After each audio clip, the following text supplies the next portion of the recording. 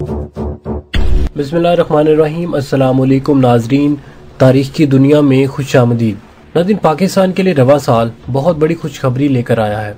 नाजिन, इस साल पाकिस्तान अपने दिफाई निज़ाम में बहुत खतरनाक किस्म के हथियार शामिल कर रहा है, जिसे सुनकर भारत के भी होश उड़ रहे हैं। और दूसरी तरफ़ पाकिस्तान के सबका वज़ीर खारजा शाह महमूद कुरैशी ने अपने एक बयान में कहा कि पाकिस्तान इस साल दो ऐसे मिसाइलों का टेस्ट करेगा, जिससे भारत की टांगे काँप जाएँगी। मगर इन मिसाइलों को खुफिया रखा जा रहा है। लेकिन नाजिन अंदरूनी खबरों से अगर नतीजा निकाला जाए तो ये बात वाजह हो जाती है कि वो मिसाइल अबाबिल टू मिसाइल है, जो कि अबाबिल मिसाइल का जदीद वर्जन है। तो नाजीन ग्रामी आज की इस वीडियो में हम अबाबिल टू मिसाइल के बारे में वजाहत करेंगे।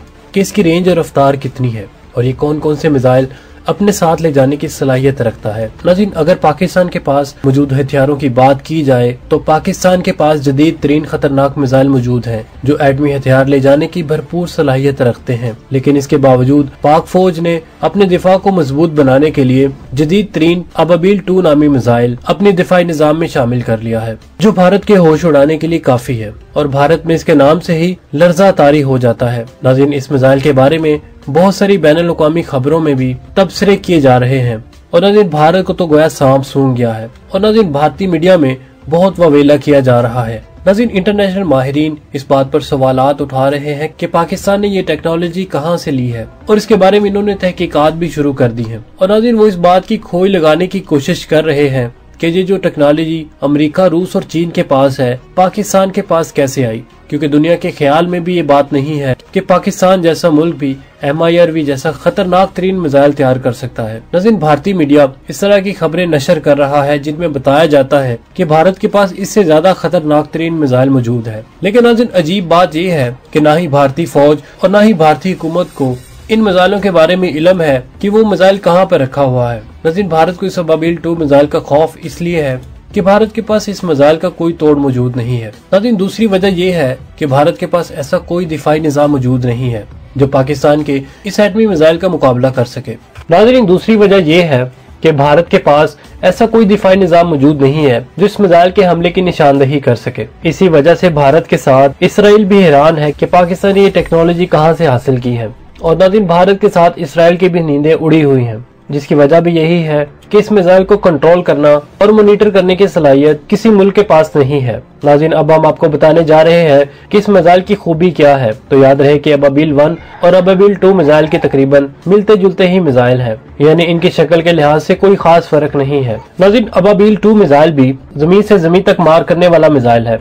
इस मिसाइल की लंबाई 22 मीटर और इसका कुतर 2 मीटर है। नाजिन इसके अंदर ठोस ईंधन का इस्तेमाल होता है। इसलिए इस मिसाइल को दुनिया के तेज तरीन ब्लास्टिक मिसाइलों में शुमार किया जाता है। इसके अंदर जदीद तरीन इंस्ट्रूमेंट लगाए गए हैं जो इसकी कारकर्दगी को कई गुना बढ़ाते हैं। नाजिन इसके साथ साथ इसमें जीपीएस गाइडेड सिस्टम भी इंस्टॉल किया गया है, जो इसकी डायरेक्शन को दुरुस्त रखता है। नाजिन इसमें एक और अहम खूबी ये है कि इसे सेटेलाइट के साथ भी चलाया जा सकता है, यानी ये सेटेलाइट से कंट्रोल हो सकता है। ताम इसकी रेंज के बारे में अभी तक कुछ नहीं कहा जा सकता कि ये कितनी दूरी तक अपने टारगेट को निशाना बनाने की सलाहियत रखता है। लेकिन बाद दफाई माहरीन के मुताबिक इसकी रेंज साढ़े तीन हज़ार किलोमीटर से लेकर साढ़े चार हज़ार किलोमीटर तक होती है। नाजिन, इसको लॉन्च करने के लिए ट्रांसपोर्ट लॉन्चर इस्तेमाल किया जाता है। इस मिसाइल के तीन हिस्से हैं और ये अपने साथ 10 से 12 एटमी हथियार ले जाने की सलाहियत भी रखता है। इसके अंदर जो खास निज़ाम नस्ब है, इसे एम आई आर वी निज़ाम कहते हैं।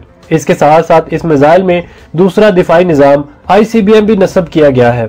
नाजिन अमेरिका ने एक रिपोर्ट शाया की, जिसमें कहा गया कि पाकिस्तान अपने तमाम मिसाइलों को अपग्रेड कर चुका है और जदीद वर्जन में तब्दील कर चुका है। नाजिन, उस रिपोर्ट के मुताबिक पाकिस्तान अपने तैमूर मिसाइल पर काम कर रहा है और शाहीन मिसाइल और गोरी थ्री मिसाइल को भी अपने जदीद वर्जन में तब्दील करने के लिए काम जारी रखे हुए है। नाजिन, अब पाकिस्तान ने अबाबिल टू मिसाइल पर काम मुकम्मल कर लिया है और किसी भी वक्त इसका टेस्ट किया जा सकता है। नाजिन, लिहाजा भारत को इस बात से बड़ी तशवीश है और इसने पाकिस्तान पर इल्ज़ाम लगाया है कि पाकिस्तान ने ये टेक्नोलॉजी शमाली कोरिया से हासिल की है। लेकिन नाजिन ये सिर्फ़ एक प्रापोगंडा ही है। पाकिस्तान ने शमाली कोरिया से अपने टीपू मिसाइल की टेक्नोलॉजी हासिल की थी। लेकिन M I R V technology Pakistan ने खुद तैयार की है। और अजीन भारत को ये भी तशवीश है कि चीन, रूस और अमेरिका के बाद पाकिस्तान के पास भी ये टेक्नोलॉजी आ गई है। और भारत अभी तक इससे महरूम है। नाजरीन, ये टेक्नोलॉजी तो शुमाली कोरिया के पास है ही नहीं। तो पाकिस्तान कैसे शुमाली कोरिया से ये टेक्नोलॉजी हासिल कर सकता है? लिहाजा नाजरीन, ये पाकिस्तानी इंजीनियर्स का कारनामा है कि इन्होंने ये टेक्नोलॉजी खुद तैयार कर ली और दुनिया में एक मुकाम हासिल कर लिया। तो नाजिन इससे ये साबित होता है कि अबाबील वन और अब अबील टू को पाकिस्तान के अंदर ही बनाया जाता है और ये सारी प्रोडक्शन पाकिस्तान के अंदर ही हुई है और अनकरीब इसका कामयाब तजर्बा भी हो सकता है।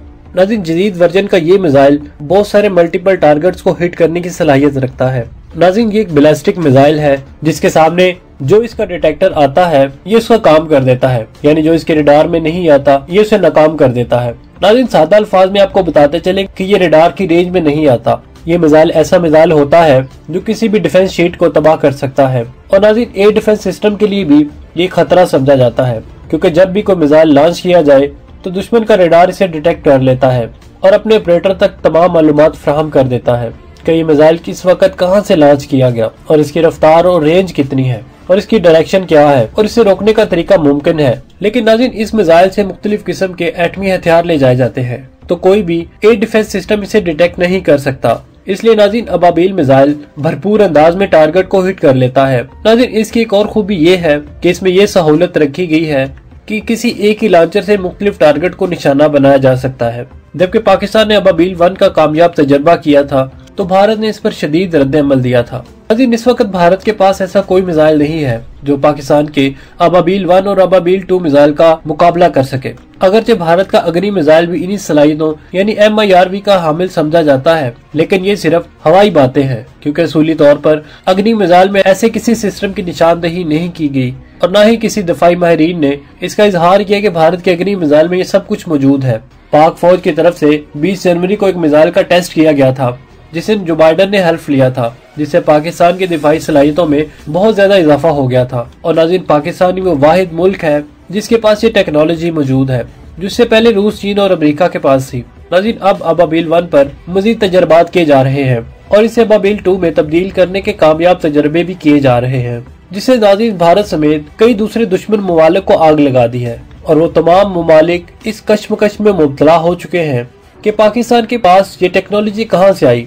लेकिन नाजिन इनको ये बात अभी तक मालूम नहीं हो पाई, जिसकी वजह यह है कि ये टेक्नोलॉजी पाकिस्तान ने खुद लॉन्च की और इसके लिए किसी से मदद भी तलब नहीं की। तो नाजिन आप भी पाकिस्तानी होने का सबूत देते हुए कमेंट सेक्शन में पाक फौज जिंदाबाद का नारा कमेंट ज़रूर कीजिएगा। नाजिन अब तक के अपडेट्स के लिए इतना ही। इसके साथ ही आमिर सोहेल को इजाज़त दीजिए। अल्लाह निगेबान।